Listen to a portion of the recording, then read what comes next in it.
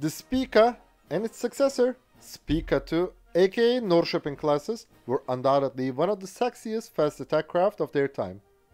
Even though these surface combatants never saw action, they are highly praised by naval enthusiasts. Today, we are investigating the Spica and Norrköping classes, the legendary fast attack crafts of the Baltic.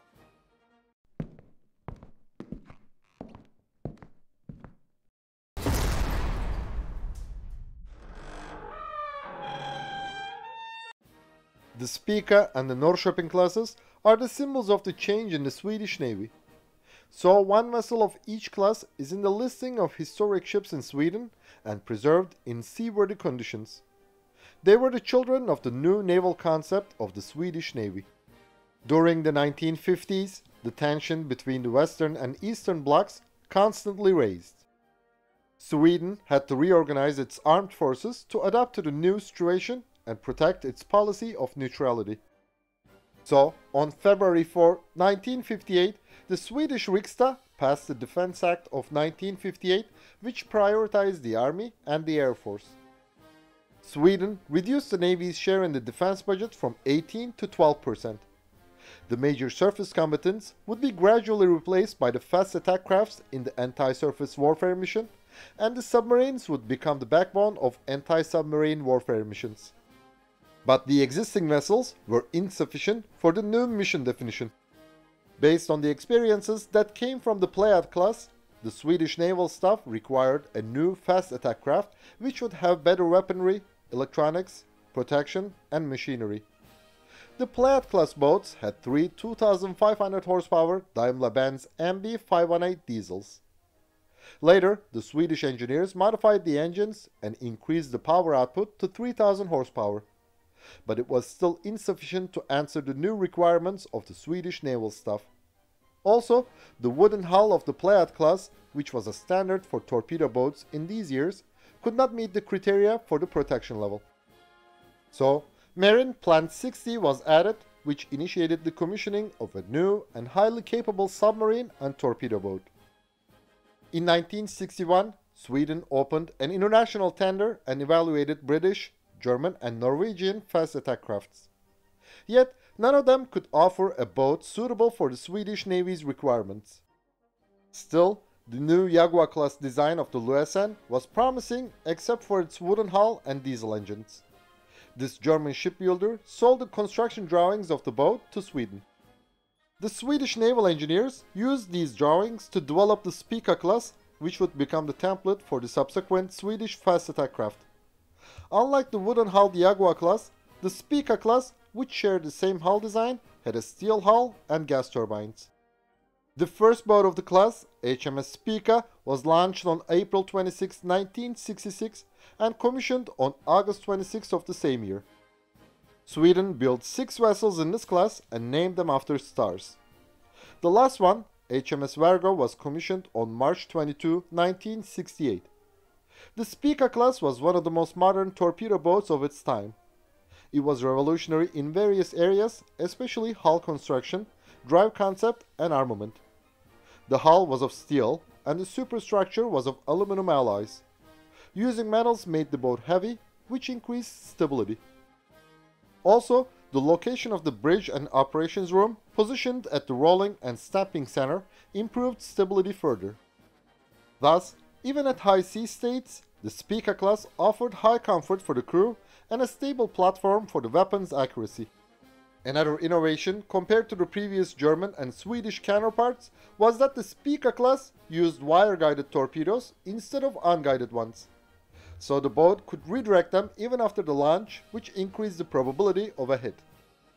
Also, thanks to its highly modern fire control system for that time, which consisted of a fire control radar and a relatively primitive computer, the Spica class could calculate precise fire control solutions for the torpedoes. The 533mm wire-controlled Torpedo 61 torpedo had 45 knots speed and 24 kilometers range. Its warhead was 250 kilograms. All six torpedo tubes were rigidly mounted on a slightly angled position from the longitudinal axis. There were no spare torpedoes on board. The four torpedo tubes at the aft could be removed to accommodate rails for laying sea mines and throwing depth charges. Still, the boat had limited anti-submarine warfare capability since it had no sonar. The 57mm Bofors SAK Mark I gun of the Spica class had a rate of fire of 200 rounds per minute and a maximum range of 17,000 meters. Later, it was replaced by the SAK Mark II. This variant had a rate of fire of 220 rounds per minute and faster target acquisition capability, and it could fire new types of ammunition. There were 6 racks for the 103mm illumination rockets on the turret.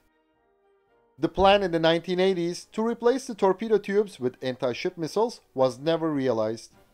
The Spica class could be sealed airtight and a filter system was cleaning the air, so it had NBC protection. The gas turbines had a high power output which gave the Spica class a top speed of over 40 knots. Yet, they were not reliable enough and were often experiencing malfunction. For this reason, two of three gas turbines were running during the course in general use. The crew was activating the third one during the attack.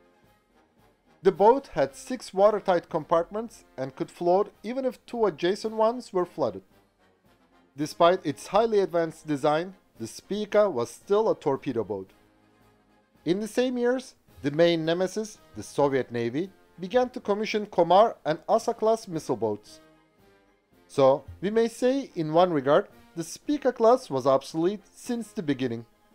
The service life of the Spica class boats is uneventful. They never participated in any major incidents. HMS Castor and HMS Sirius were decommissioned in 1985 and the rest in 1989. Still, HMS Spica is preserved as a museum ship. HMS Spica is still fully operational. She also makes trips during the summer, which can be booked. According to Jane's major warships, the complement of the Spica class was 30 people. It had a length of 42.5 meters a beam of 7.1 meters and a draught of 1.6 meters. The boat's standard displacement was 200 tons, while its fully loaded displacement was 235 tons. Three 4,500 horsepower Rolls-Royce Proteus 1282 gas turbines provided a maximum speed of 40 knots. Based on the experience gained with the Spica class, Sweden decided to design a new boat called the Spica II class in the early 1970s. Later, this class was renamed as Norrköping class. The first vessel of the class, HMS Norrköping, was launched on November 16, 1972 and commissioned on May 11, 1973. The Swedish Navy took 12 Norrköping class boats into service until 1976. It had some minor changes from the previous Spica class. The Norrköping class was 1.1 meters longer than its predecessor. Its standard displacement was 190 tons, while its fully loaded displacement was 230 tons. It had an improved air intake, enabling the ships to reach up to 42 knots speed. The initial armament of the Norrköping class was the same as the Spica class. It had one 57mm Bofors SAK Mark I gun and six 533mm torpedo tubes. But unlike the Spica class, the new boat had a domestically produced Saab 9LV200 Mark I. The boat had been designed to allow the integration of future anti-ship missiles from the beginning. The Swedish Navy was one of the pioneers of ship-based anti-ship missiles. The Halland-class destroyer was the first major Western surface combatant equipped with this weapon system. Also, the Swedish Navy had the Hugin missile boat, they had the Penguin missiles with a 34 kilometer range, whose Swedish designation was the Robot 12. The Swedish Navy, which had a deep-rooted ship-based anti-ship missile tradition, decided to replace the four aft torpedo tubes of the Norrköping class boats with the RBS-15s in the early 1980s. The trial was conducted on HMS Piteå. The result was successful. So, Sweden converted all Norrköping class torpedo boats to missile boats between 1982 and 1985. The RBS-15 Mark I had a 200 kg high explosive blast pre-fragmented warhead and a range of 70 km. Its speed was Mach 0.8. Also, the Torpedo 61s were replaced by the Torpedo 613 torpedoes. The new one had a range of 30 kilometers. Like the Spica class, the Norrköping class was re-equipped with SAK Mark II gun. Since the RBS-15 offered twice the range of the Robot 12, the modernization also included the integration of long-range Sea Giraffe radar and the Maris 880 weapons control system. Thanks to the Maris 880, the Norrköping class had over-the-horizon engagement capability by receiving target data from helicopters. At first, like the Spica class, the Norrköping class boats had a pennant number that started with the letter T. This letter referred to the Swedish word torpedbåtar, which means torpedo boat. Now, since the Norrköping class became a missile boat, the letter T was changed to R, the initial of the Swedish word for missile boat, robotbåt. Between 1996 and 2000, Sweden modernized six vessels of this class to keep them in service until the Visby-class corvettes were commissioned. The Marel 2000 replaced the Maris 880 weapons control system. Also, the boats received new advanced electronics. After the modernization, these six boats were redefined as the Ystad class. When the Soviet Whiskey-class submarine S-363 was aground outside Karlskrona in October 1981, which is known as the U-137 incident, the interrogations of Soviet officers and diplomats were carried out on HMS Västervik. This boat had monitored the large-scale Soviet exercise Zapad 81 out in the Baltic Sea one month ago. HMS Västervik became the first decommissioned Norrköping-class boat in 1997. As mentioned before, six vessels had been modernized to be kept in service until 2010. But due to economic reasons and changing threat perceptions, Sweden retired all boats by 2005. HMS Västervik is preserved as a museum ship. In 2006, HMS Ystad was taken over by a non-profit association that handles maintenance and operation. So, she has been stripped off the HMS prefix. Ystad is still in seaworthy condition. The Stockholm-class corvettes, which share the same hull design, were initially defined as the Spica 3 class. The Handalan class or Spica M class missile boats of the Royal Malaysian Navy are the modified variants of the Norrköping class. They were built in Sweden. Unlike their Swedish sisters, the Handalan class boats with bridge amidships have three MTU diesel engines, a fully loaded displacement of 240 tons, a length of 43.6 meters, and a draught of 2.4 meters. They have one Bofors 40mm L70 gun on the aft and Exocet MM38 anti-ship missiles. The Končar class missile boats, based on the Norrköping class, were built in Yugoslavia. These boats have two diesel engines and two gas turbines. Initially, they carried two SSN-2 Styx anti-ship missiles and two 57mm Bofors SAK Mark I guns instead of one. Today, the Montenegrin Navy operates two Končar-class vessels as patrol boats without missiles. Also, Šibenik in this class, which has the RBS-15 missiles, one 57mm Bofors SAK Mark I gun, and AK-630 close-in weapon system is still serving in the Croatian Navy. Similarly, the Willemoes missile boat of the Royal Danish Navy was based on the Norrköping class.